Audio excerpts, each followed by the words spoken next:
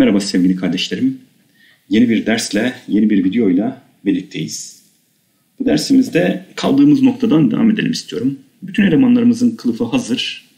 İsterseniz ilk önce Tool menüsüne bir uğrayalım.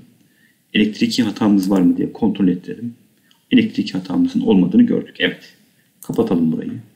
Tekrar kaydedip PCB'ye yani Ares'e geçebiliriz. Bazen burası bir tutukluk yapabiliyor. Onun için şöyle bir yaptıktan sonra Component moda geldim. 9 tane elemanımız var saydığım kadarıyla. Evet onları yerleştirelim sevgili kardeşlerim. İlk olarak köprü diyotu yerleştirebiliriz. Şu şekilde yerleştirdim. Hemen arkasına jackımızı yerleştirebiliriz. Şu şekilde. Evet. Daha sonra sevgili kardeşlerim U1'i yerleştirebiliriz. U1'imizin soğutucusu dışarıda kalacak şekilde şu şekilde yerleştirebiliriz. Evet. Daha sonra C1 kondansatörümüzü yani 1000 mikrofaradlık kondansatörümüzü yerleştirebiliriz. Fazla uzağa gitmeye gerek yok. Daha sonra C2 kondansatörümüzü şu şekilde çeviriyorum. Bir kere daha çevireyim. Şöyle yapabilir miyiz diye bakıyorum. Evet böyle de yapabiliriz.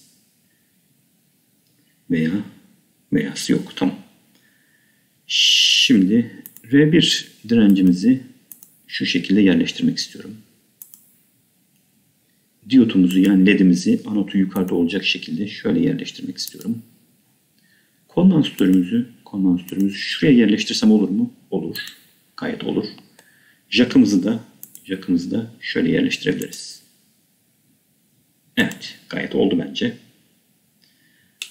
Daha sonra selection moda bir uğrayalım. İki de grafik box'a bir uğrayalım.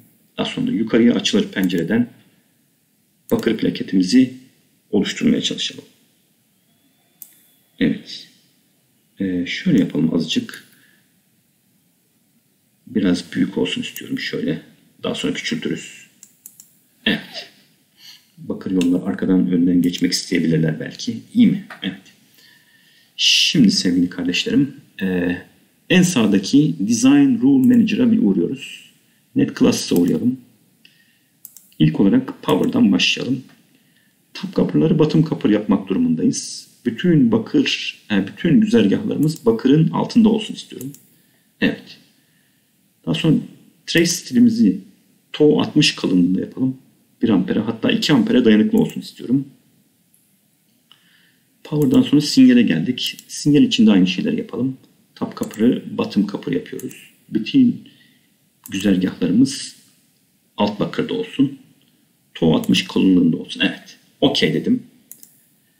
Hemen yanında bir otorouter'umuz var.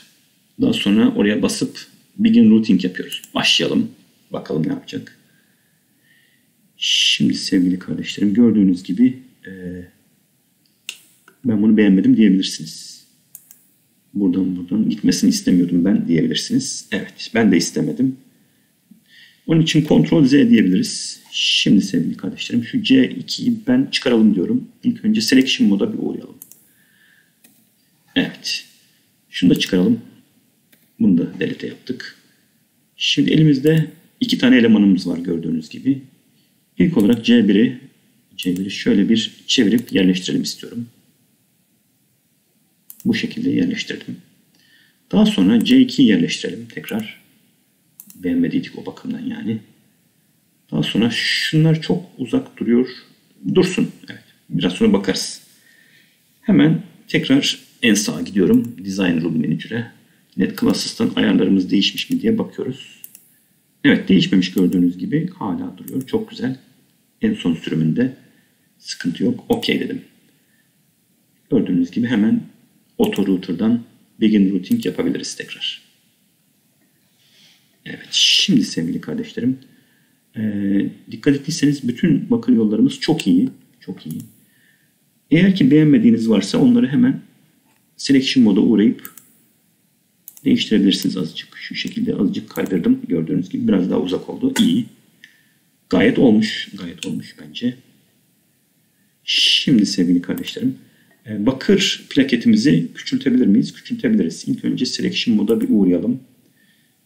Grafik Box Mode. Daha sonra Board Edge'imizi tekrar tıkladım. şöyle küçültebiliriz.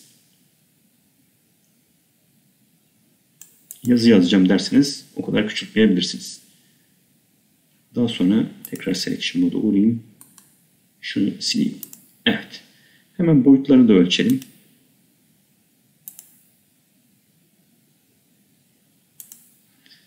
Yaklaşık 7 santime 3 santim evet.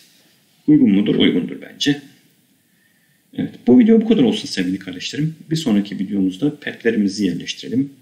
Ee, yazılarını yazalım. Evet. Görüşmek umuduyla hoşçakalın efendim.